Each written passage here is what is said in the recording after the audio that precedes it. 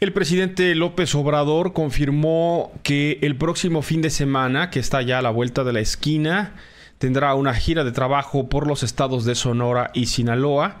Adelantó que no va a poder saludar ni abrazar a la gente ante la contingencia por coronavirus. Lanzó una disculpa por anticipado.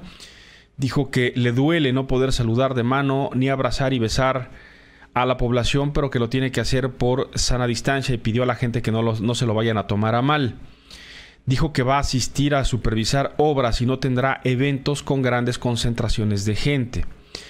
El presidente dijo también esta mañana que la Fuerza Aérea Mexicana va a emplear algunas de sus aeronaves para repatriar a México a paisanos que se encuentran varados en Argentina por las cancelaciones de vuelos que hay con ese país y descartó que el gobierno vaya a ordenar la prohibición de vuelos hacia y desde México, una medida que ya tomaron otros países como Estados Unidos.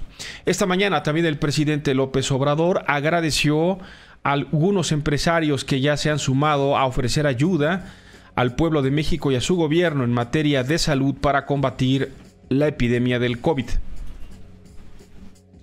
Hace unos días em, entregó 50 millones de pesos la empresa Coppel para salud.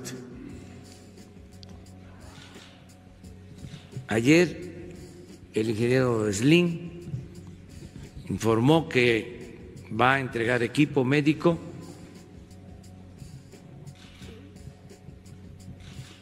por mil millones de pesos.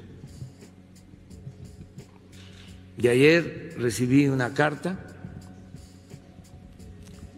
de Germán Larrea entregando un hospital que construyó su fundación en Juchitán para que sea equipado, operado por el ejército,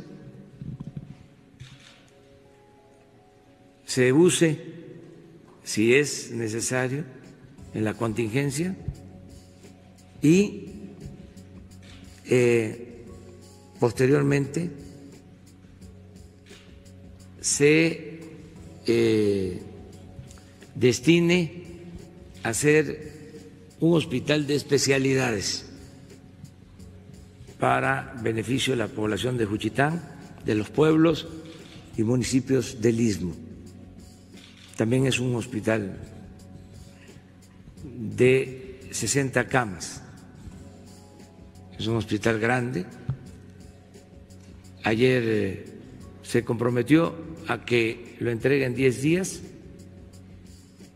porque ya faltaban detalles de construcción y di la instrucción al secretario de la Defensa para que lo reciba y de inmediato comience eh, su equipamiento para prepararnos, seguirnos preparando.